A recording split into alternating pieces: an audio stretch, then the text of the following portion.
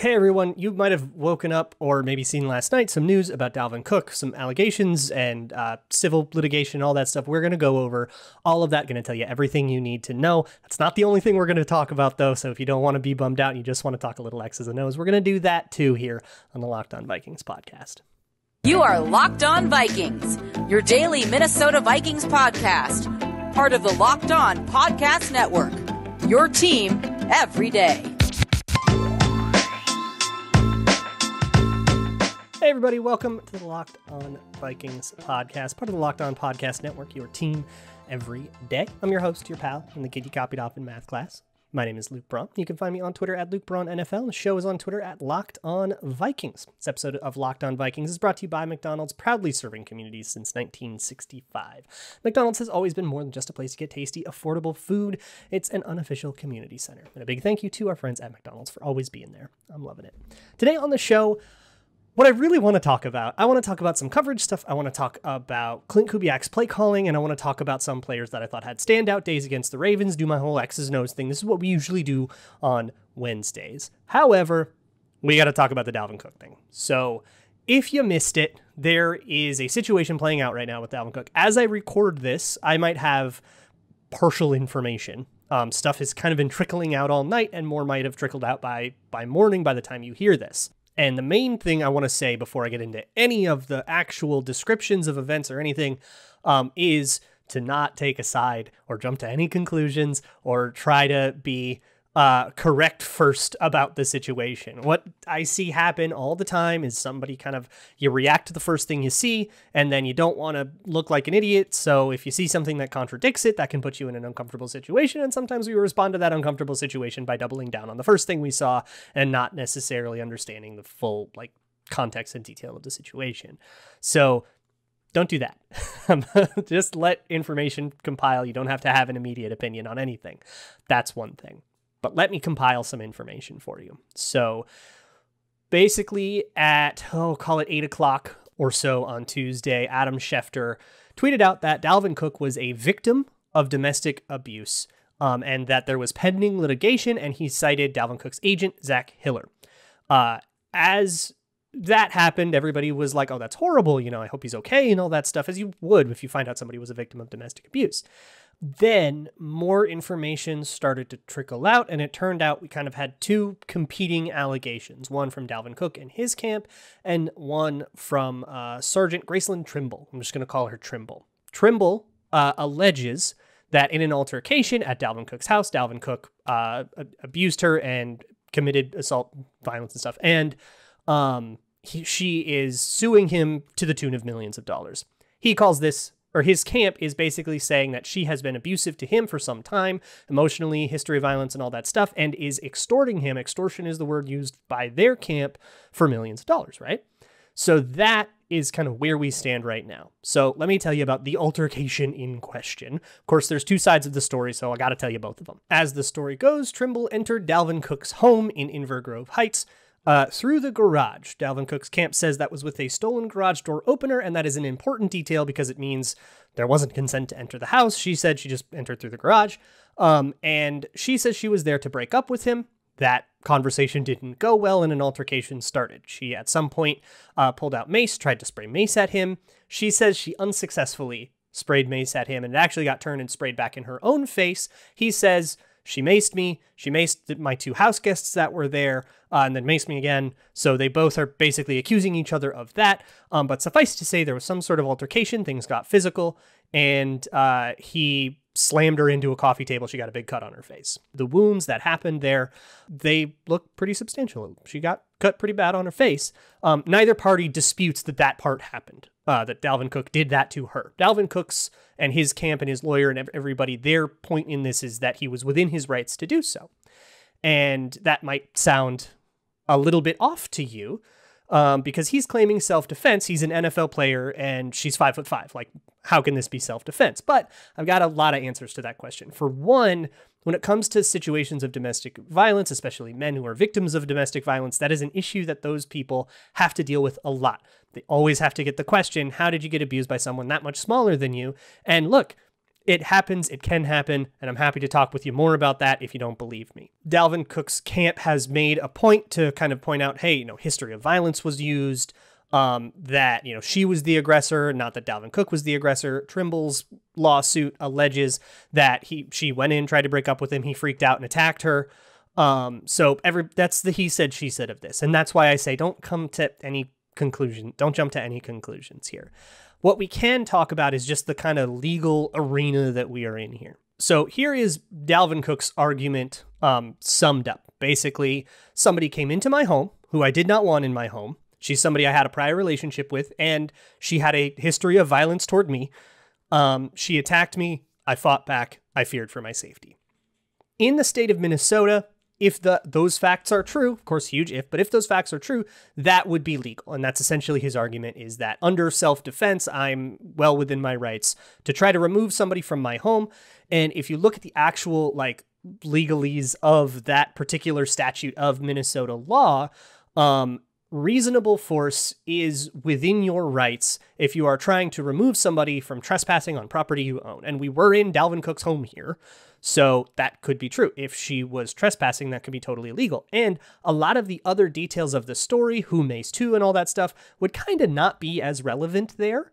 As long as Dalvin Cook can prove that he was in some sort of reasonable fear for his own safety um, and was trying to remove a trespasser that would not leave, he would be within his rights to use his physicality to do so from a purely legal standpoint. Now, morally, and you know, did he do the right thing, and is he actually a total jackass?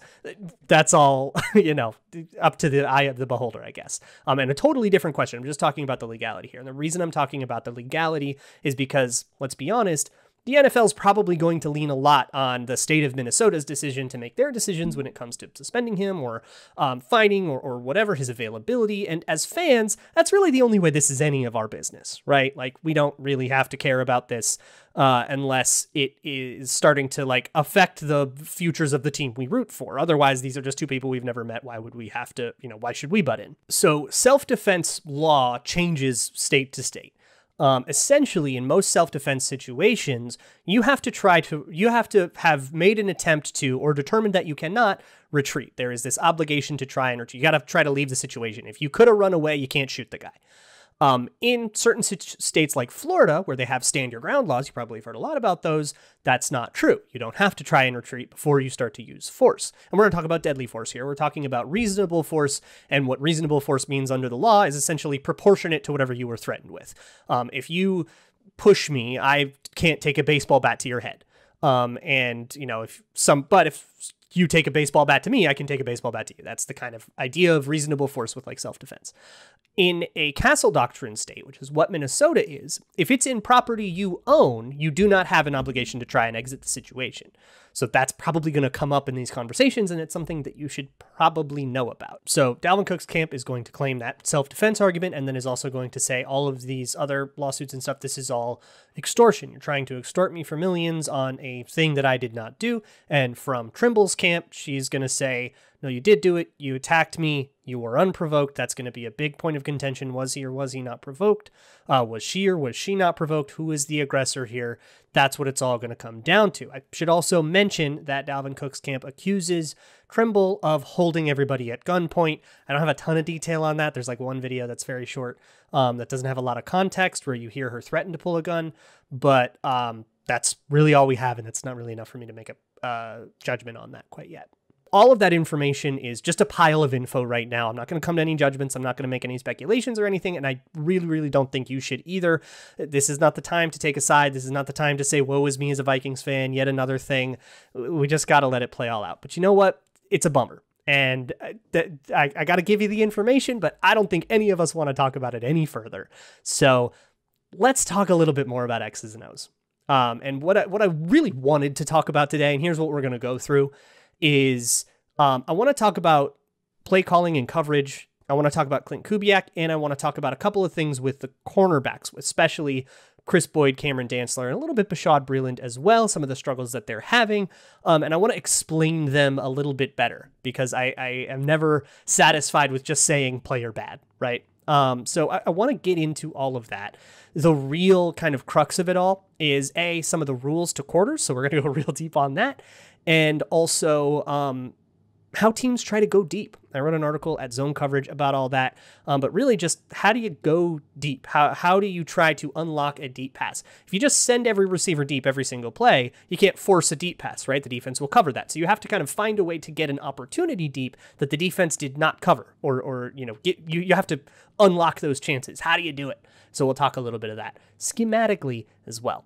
Now, before we get into any of that, I want to talk to you about my new favorite app it's Get Upside. It is a great way to save a little bit of money at the pump. Gas prices are intense, and Get Upside can save you up to 25 cents a gallon per fill up. That adds up. That's like two, 300 bucks per month if you drive around a lot. Just go to the Google Play Store or App Store download the Get Upside app. That part's free. You sign up. It'll tell you which gas stations are participating that you can go to. Go fill up at those gas stations. Tell them which gas station you went to. It'll process for a day or two, and then money just shows up in your account. You can cash that out whenever you want, however you want. You can do an Amazon gift card or something like that. You can just do PayPal or direct deposit right into a bank account. There's no catch, and you can do cash it out whenever you want. Use the Get Upside app now. You can enter promo code touchdown to save uh, up to 50 cents, so 25 cents more per gallon. Double your savings on your first fill up, up to 50 cents a gallon off at the pump for the whole fill up just by get by using the Get Upside app and entering promo code touchdown.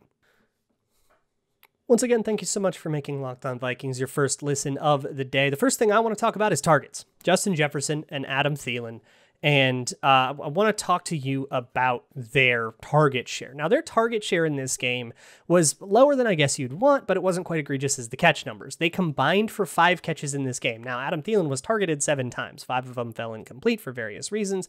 Jefferson had a couple fall incomplete, um, but still that's a little too low and we want to you know push the field. We want to stretch the defense a little bit more. They're having this check down problem. What's going on? Why aren't they getting the ball to their playmakers and getting these big plays that we know these guys are capable of right? And to answer that question we kind of have to think think like an OC for a second. Think like somebody approaching a defense trying to get that to happen right? You say okay my goal for this game is to get deep long explosive plays to Justin Jefferson and Adam Thielen. Pretty good goal. Love it. How do you do it right? You can't just send them deep and throw to them. It's not that easy. The defense will just cover that um, you have to find ways to get opportunities. And getting deep opportunities can be a, a pretty difficult thing to do against a defense that knows that's what you want to do. And look, how else are the Vikings going to threaten you? Either running the ball, and we all know how much people don't like that, or what CJ Ham? Like, come on, what what are we gonna do here? The Vikings are kind of a shot play offense now. They did the bootlegs. I've been complaining about the bootleg for a long time because I think it's pretty solved. Um, and I, by solved, I mean defenses know that when you play the Vikings, the Vikings are going to try to throw deep on you, and they're going to get to that deep throw by a bootleg. The problem with a deep throw is that it takes a long time to develop a deep throw. If you want a guy to catch the ball 30 yards down the field, you got to give him the time to get 30 yards down the field. One way to do that is uh, to block it up with more players, seven, eight blockers, right? We'll talk about that more in a second. But another way to do that is with a bootleg. You play action, uh, you know, a run to the left, and then instead, Kirk Cousins rolls out to the right, and so do all the receivers. They all go to the right. Now Kirk Cousins is nobody in front of him, and he can sit there, read the play, and throw deep that's the, the dream of it, and that's how 2019 worked. Well, it's been a while since 2019, and all those concepts are on tape, and te- teams know how to defend them. A, they're you know sending more guys deep against that kind of thing. They're just using different coverages with more deep defenders. That means guys are double covered, guys are lurking that are waiting to pick off routes. It has nothing to do with Justin Jefferson's skill or Adam Thielen's skill. Somebody's going to intercept the ball before it even gets to him, right? That has nothing to do with that, but you can't throw that to him. He can't win a contested catch against a lurking defender that's going to undercut the route, right? So there are a bunch of problems with this. One is that teams have figured out that Cousins likes to roll the other way. So whenever there's a run one way, they will send uh, an edge rusher or a linebacker or something on the other side of the field directly at the quarterback. That guy would be chasing down the run play anyways. His job is not particularly important. Um, it makes it a little easier to run against them, and there are ways to punish that, but you're going to get pressure on the quarterback. And if they do end up running and punishing you, well, now they're punishing you with a run play, which is better than punishing you with a deep pass. So defenses are just going to take that every time. They're just going to keep doing this. Um, there are a lot of ways to try to get around that or to solve it, um, ways to try and, you know, subvert that. But basically, teams are reading this out. And so you don't exactly have all that time to to let those deep routes develop. So the bootleg has kind of become more of a little system play, a slant kind of play, a quick four yards kind of thing. Um, and the Vikings know this. They're starting to send Chris Herndon as the deep route instead of Justin Jefferson. Because if you send Justin Jefferson as the deep route on a bootleg, you're never going to get to that deep route, and Justin Jefferson's never going to get targeted. So if you want him to get targeted, you, you got to make him the medium or maybe even the short route because that's the guy who's going to get at the ball 99% of the time with the way that defenses are playing bootlegs. It's a problem. So the other way that the Vikings try to get to shot plays is by having extra blockers. You have more guys, you can block more guys, right? The problem with that is it takes guys out of the formation, right? takes guys out of the route concept. If you have two extra, if you have seven blockers, so that's two extra players blocking, that's two less players running a route. And now you have a three man route concept. It's a lot harder to do that.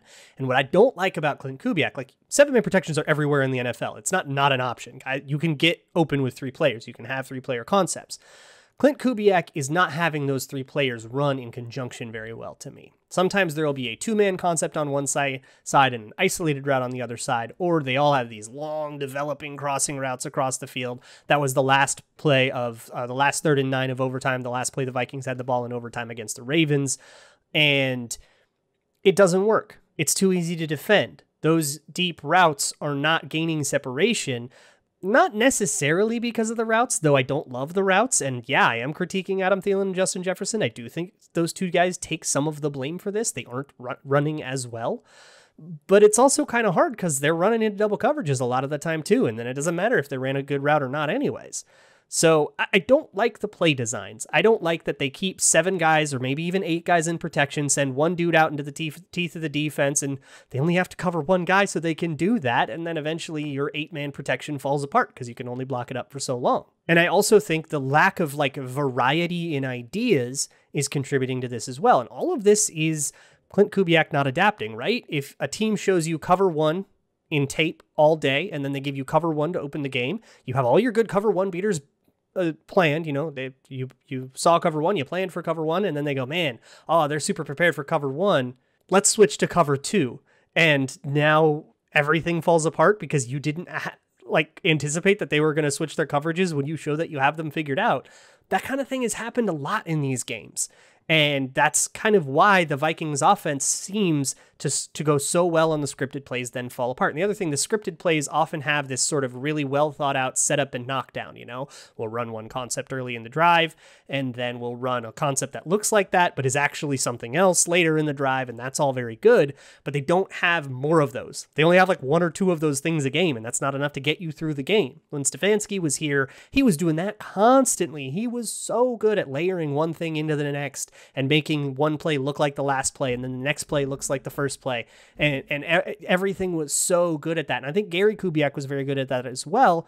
Klint Kubiak just does not have that talent, and and that's really unfortunate because I don't know if anybody in the room has that talent. And I don't think the Vikings are going to have this all year. And it's part of why I'm kind of over the 2021 Vikings until they prove to me that they can run a real offense that has 60 minutes worth of juice in it. I wrote an article at Zone Coverage about this. Um, you can find it at zonecoverage.com. You can find all that stuff there. Um, but I also want to talk a little bit about the defense. So let me get into that. But first, let me talk to you about the best tasting protein bar on the planet. It's eating season. It is Thanksgiving season, and that means we are going to stuff our big old faces with too many calories on one day. And unless you want to feel like crap for all of that, maybe you should uh, turn to a built bar instead of a dessert. And maybe the, that leftover slice of pie that's like 300 calories is not preferable to, one, to a built bar that's like 130 and still satisfies the craving. It's all covered in 100% chocolate, comes in delicious flavors. Uh, you know, coconut cream pie, how about a coconut built bar? Raspberry tart or something like that, how about a raspberry chocolate built bar instead? High protein, high fiber, low calorie, low sugar. They will satisfy that nasty craving, but they're not going to knock you off the wagon. And we all know we need some help this time of year. So head on over to built.com. They also have limited flavors. Every three or four days, they uh, will introduce a new limited time flavor. Be on that. I believe right now is coconut brownie chunk, and that is red alert, DEFCON 1. You got to get in on that. That is the best flavor.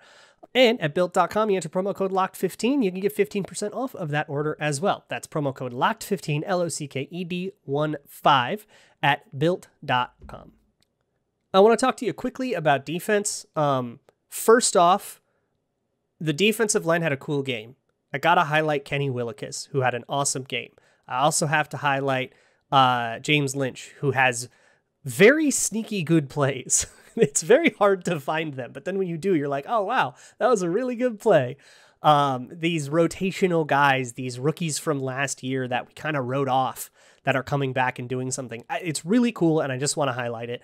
Um, maybe we'll talk about it in more depth another time if we can. Um, I also want to highlight back on the offense. I want to just talk quickly about Mason Cole. I know he had a better PFF grade um, and then like Bradbury's had, and a lot of people want to bench Bradberry for him. I'm contractually obligated to say that's not a good idea because Mason Cole was hidden a lot. He did a lot more double teaming. He did not do very many difficult assignments and run or pass. When he did, it did not go well nearly as often. The Vikings hid their backup center, and that's what you would expect them to do. That's wise to do, but we should probably adjust our uh, our evaluation of him for that. And I know that PFF's grading system does not do that. So keep, bear that in mind. But really, what I want to talk about is the cornerbacks Dantzler, Breeland, Boyd. Um, these guys are struggling, right? And I think a big struggle that they're having, and I've talked about this before, they play too far off. They play really soft coverage. They're kind of scared.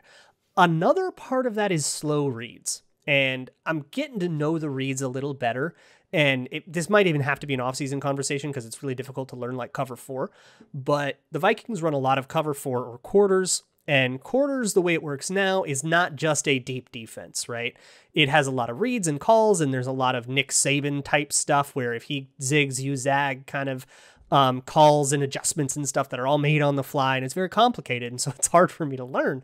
Um, but once you kind of see what people are doing, you can see, oh, he read that right, but was just a little slow. That's why it was a completion there's a um, one concept that is maybe good to start thinking about is instead of thinking XYZ for the receiver or outside receiver, slot receiver, tight end, um, think of them as numbers. Count from the outside in one, two, three, and then you get to the ball and then you cross the ball and you count back out three, two, one, or two, one, or whatever it is. Um, and think about it that way. And then watch the cornerbacks with that in mind. Are they taking the one or the two? A lot of times in match defenses like what the Vikings run, somebody's job will be the number one. That doesn't mean the number one receiver is the Davante Adams. That means the guy on the furthest outside. And if that changes, let's say the outside receiver runs a slant and somebody else runs a flat, you pass it off and it looks like zone, and then you play man to man technique from there. Um, but sometimes that means, you know, depending on the route concept, there was one play, it was a first down to Mark Andrews, where, where Cameron Dantzler's assignment was to read it um, one to two. And that means you you cover the one, and if he does a certain thing and then the two does a certain thing, and Mark Andrews was the two on the play, then you move to the two.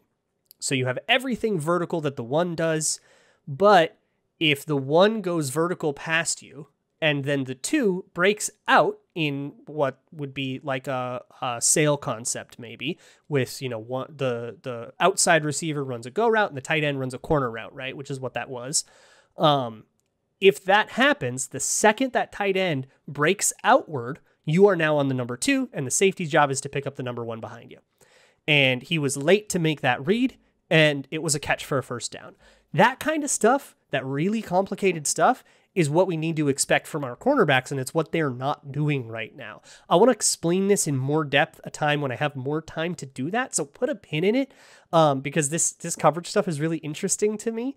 But you can start to see the mistakes kind of show themselves if you can start to understand the ins and outs of the coverages the Vikings call. And they're not all that complex. Sometimes they just call straight to st- straight, you know, man to man coverage, cover one. And I think they should stop doing that because they don't have the guys to cover man to man like that. That kind of stuff where they, they, they understand it, but it's just a little slow. And only the elite guys read everything exactly quickly. You got to be kind of forgiving when you get this granular into tape. Um, because you know you you get that detail oriented, you're going to find all sorts of little nitpicky mistakes, and don't convince yourself that eight nitpicking mistakes means a bad game. Eight big mistakes means a bad game, but when we start nitpicking more, we learn a little bit more, but we also start to find more bad things and don't accidentally talk yourself into being a total hater, right? If I were to levy a criticism that you can take to the office and tell people without having to explain to them, you know, sit them down and explain to them match quarters for six months, it would be they are reading things correctly, but they are still a little slow in doing it. They're not busting coverages anymore, but they're still a little slow in doing it. And part of that is, you know, being new to the scheme. Bashaud Breeland's never done this before. Part of that's being young like Cameron Dantzler. Kris Boyd has no excuse. Uh, Kris Boyd's just bad at the sport and probably shouldn't be on a roster. I'm, I'm pretty over Kris Boyd. He had a terrible game against Baltimore. I, I really want to talk more about all of this, and and we will another time. I promise you. So so put a pin in it. Um, but tomorrow we, we got to move on to the Chargers. Tomorrow is, is crossover Thursday. We're going to talk to uh, the the Locked On Chargers guys. So um, really excited about that. This should be a really fun game. I'll be at it, so I should hopefully be able to report f- report from the the bird's eye view of the cheap seats. uh, so that'll be all really fun. Thank you so much for making Locked On Vikings your first listen. For your second listen, check out the Peacock and Williamson podcast. They will be talking about all the crazy things. They'll probably talk a little bit about Dalvin Cook, probably talk a little bit about Aaron Rodgers, whatever else is going on in the NFL. So check that out. I'll see y'all tomorrow. And as always, Skull.